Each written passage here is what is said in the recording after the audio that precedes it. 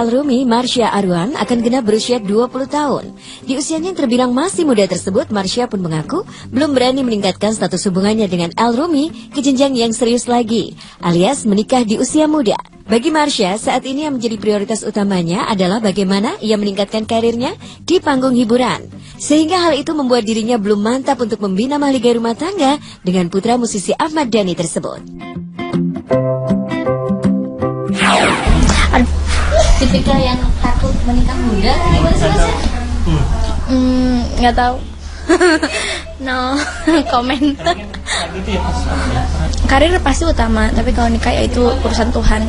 Kita lihat aja nanti. Ya nikah muda mah mau, tapi kan belum serak aja. Ya pasti karirnya dong. Karena ya karir kan untuk masa depan. Ya walaupun yang itu juga untuk masa depan tapi kan karir itu lebih penting lah daripada yang lain. Tapi tetap lebih penting keluarga. Maksudnya karir itu lebih penting harus diutamakan gitu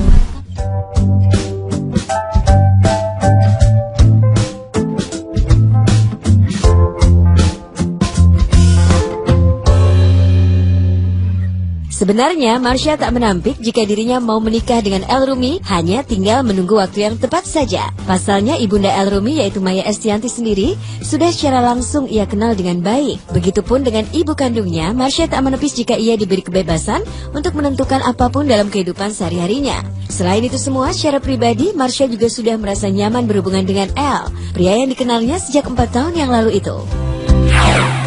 Ya biasa aja kayak ya terserah anaknya di ngasih kebebasan kepada anaknya yang penting um, kamu bisa mengatasi diri kamu sendiri kamu bisa sukses.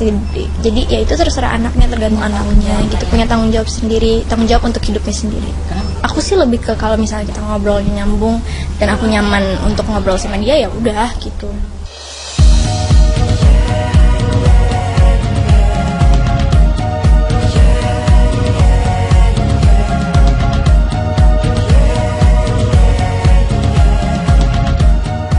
Untuk mengawetkan hubungannya dengan El, Marsha sendiri punya trik khusus. Bintang film Garuda di dadaku ini mengaku sedapat mungkin tidak terlalu mengekspos seputar hubungannya dengan El ke muka publik.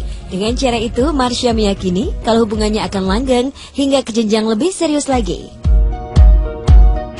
Aku orangnya memang nggak mau, mungkin dia juga ya. Aku memang orangnya nggak mau terlalu mengekspos kehidupan pribadi aku karena menurut aku itu adalah sebuah privasi aku yang nggak penting orang untuk semua orang harus tahu aku lagi ngapain, udah berapa ini, udah foto ini di mana atau apa gitu. Maksudnya itu keep it by myself gitu loh. Maksudnya kayak kalau memang aku mau mau post juga ya nggak apa-apa tapi itu mungkin beberapa kali aja tapi nggak kan pasti sering ngeliat nggak pernah emang emang nggak nggak nggak terlalu suka untuk diumbar-umbar gitu